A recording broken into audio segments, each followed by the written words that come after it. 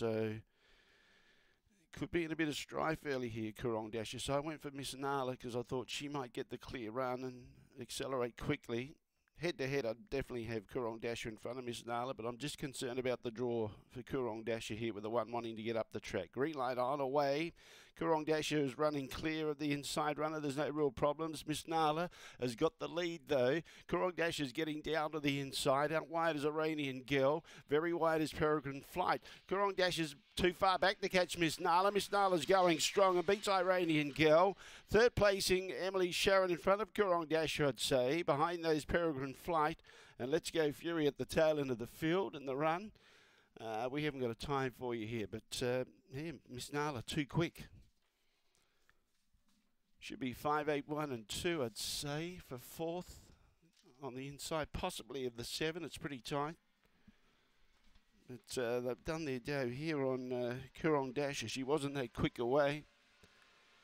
And she hasn't even got into fourth placing. 5817, take note. 5817. Two and a quarter lengths, the winning margin. Three quarters between second and third. Two and a quarter by three quarters. Miss Nala has been too fast. Too fast at the start. And uh, has been in good form of late. Black Pitch February 2019. Brett Lee out of Julie Flash. Raced by the Franco Far Syndicate. Managed by Kay Harrison. Scott Felder's the winning trainer. Solid second behind Havey's Bourbon last start. And she's got back into the winners list here. That's two wins now from 10 goes with four placings. But I think she's racing the best of her career. The last couple of runs have been very good indeed.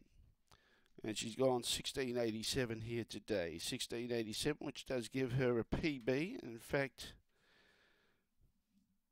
nearly identical to her run here last week when second behind Havey's Bourbon. 5817, 5817, 16.